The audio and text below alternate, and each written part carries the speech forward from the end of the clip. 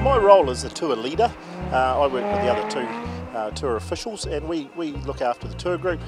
Um, we get them all organised, we, we look after them throughout the event and we go through the stage at the head of the uh, tour group and set, this, set the uh, pace for the tour group.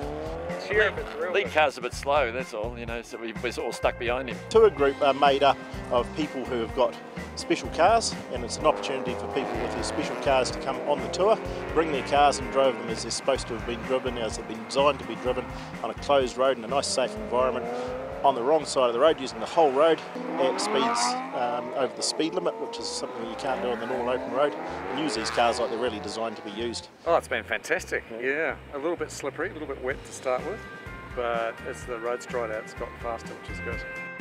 We've got Porsches, Lamborghini, Audis, Jaguar, um, there's a whole array of spectacular cars. We're um, restricted to 160 kilometres now. Uh, we wear, all wear helmets in the vehicles. The vehicles are all checked before they go. They have to have certain safety equipment in them. Um, and it's very well managed, the, the tour. We stay in a group um, so the vehicles are all kept together. The Targa event itself and the Targa Tour is fantastic fun. They're a great opportunity for people to go out and enjoy their vehicles, have a great time. A lot of camaraderie, a lot of, lot of uh, friends are made on Targa.